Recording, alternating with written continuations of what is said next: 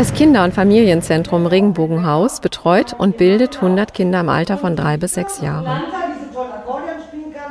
Also wir sind eine Einrichtung der Stadt von Kita Bremen und ja eine Einrichtung in Teneva und wir betreuen eben äh, alle Kinder. Also aus, egal welchen Nationalitäten sie kommen, aus welchen Ländern sie kommen, ob sie Behinderungen haben. Also wir betreuen auch Kinder mit einem Förderbedarf. Das heißt, sie sind entweder entwicklungsverzögert, also entsprechen nicht dem Alter, dem sie ihrer laut ihres äh, ja auch sein müssen, sondern eben die äh, behindert sind oder entwicklungsverzögert sind. Also wir, wir betreuen sozusagen hier ganz Teneva.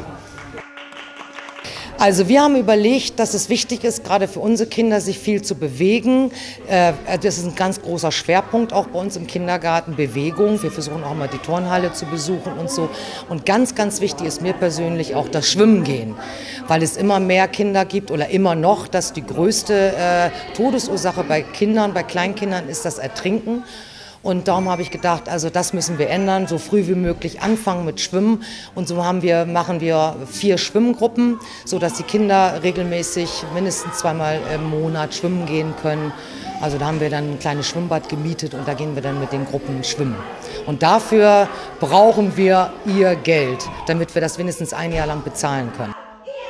Weil ich äh, festgestellt habe, dass es ja wirklich etwas ist, was wirklich von den Mitarbeiterinnen und Mitarbeitern von ArcelorMittal ist, sondern nicht irgendwie die Geschäftsführung äh, zahlt, sondern das ist wirklich ein Anliegen ihres Hauses, ihrer Mitarbeiterinnen und Mitarbeiter, die ihr restliches Geld, also den Restcent irgendwie sammeln, um irgendwie einfach Gutes zu tun, irgendwie ob, äh, Projekte irgendwie zu unterstützen. Und da möchte ich mich einfach ganz herzlich bedanken bei allen Mitarbeiterinnen und Mitarbeitern, egal in welchen Abteilungen sie arbeiten. Vielen Dank.